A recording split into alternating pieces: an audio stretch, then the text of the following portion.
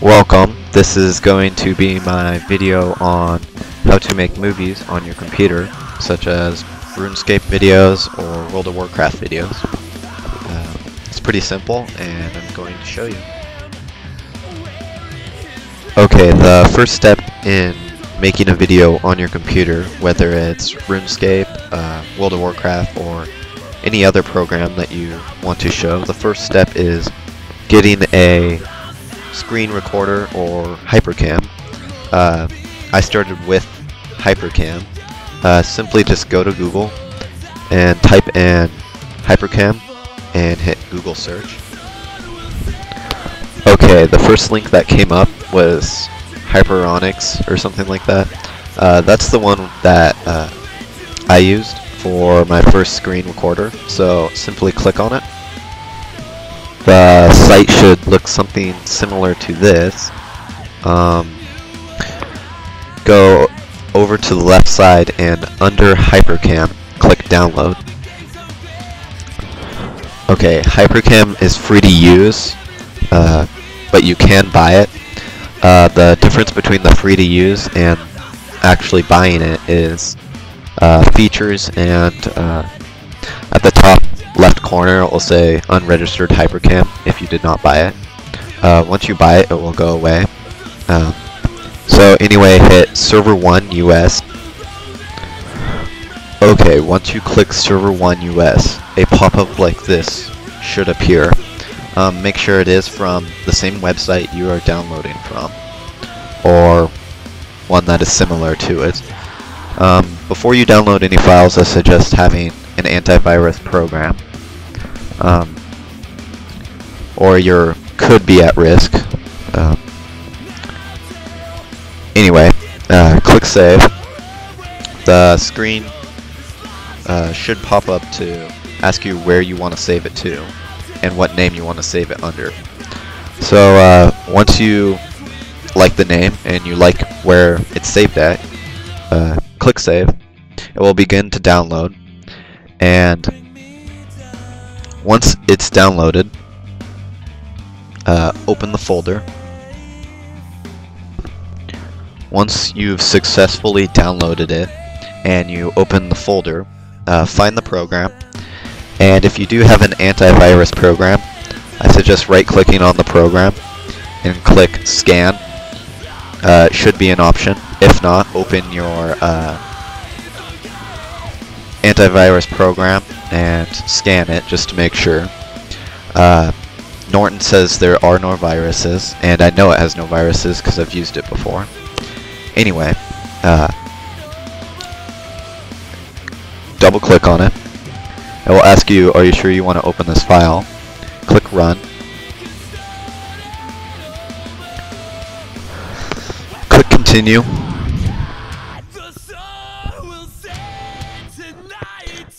This program will install Hypercam. No, no, no, no, no, no, no.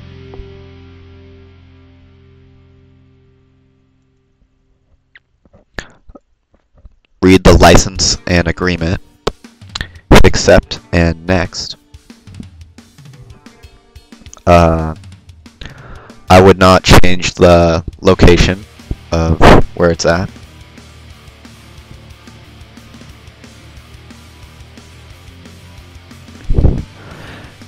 Has installed. Once you have installed the program, you open it either by clicking on the desktop icon or finding it under Start, All Programs, Hypercam 2. The first time you open it, it will ask you to register it. Uh, this is not necessarily necessary unless you are buying it. If you are buying it, click on the license tab and fill out the information hit enter license now or you can purchase one later if you want to use it. Um, there are various options on uh, Hypercam. Uh, hotkeys to start it and stop it, pretty basic. F2 to start recording and also F2 to stop it. That's pretty much the only one you really have to worry about.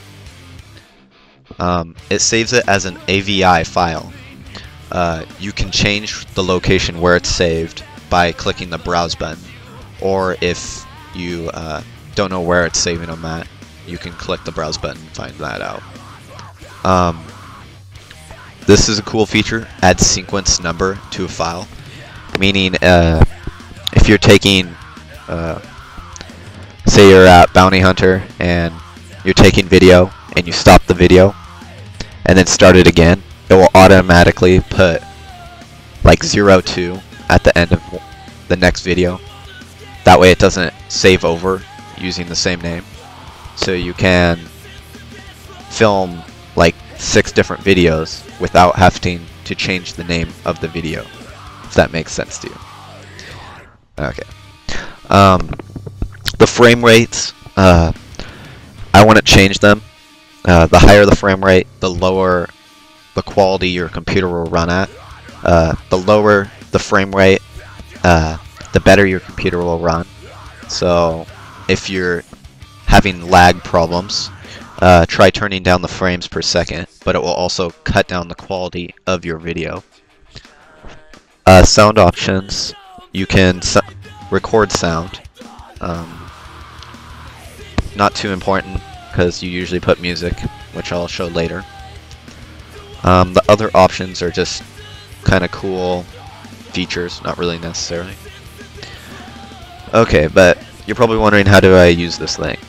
Uh, you can either select the window or select region. I believe region is the best, and that's how most people do it. Uh, simply all you do is select the region.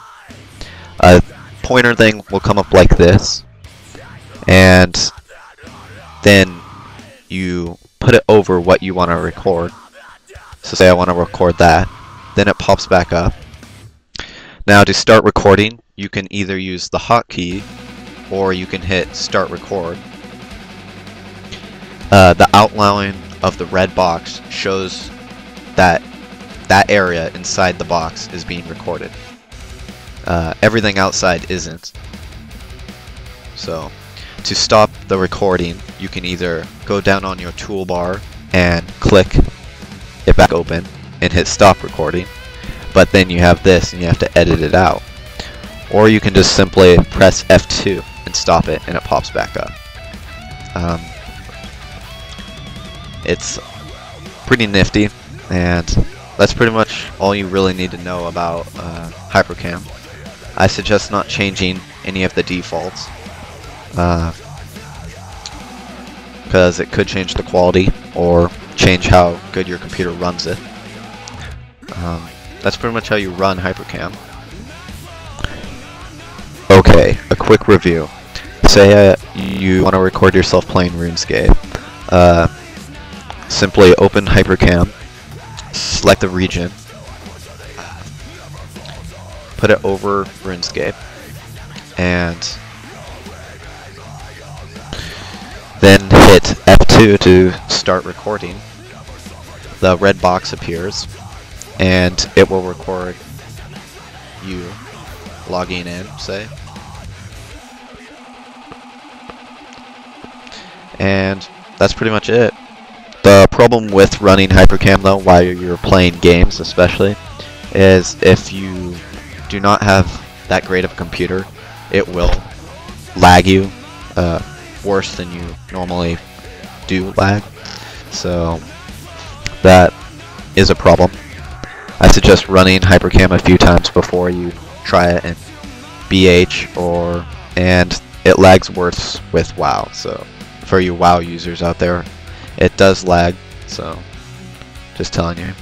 Okay, now that you have your uh, footage, it's time to edit it and make it into a movie. The editing program that I use is Windows Movie Maker. Uh, it is found pretty much on any Windows computer, uh, XP or higher. Uh, I think, I'm not sure if 98 has it.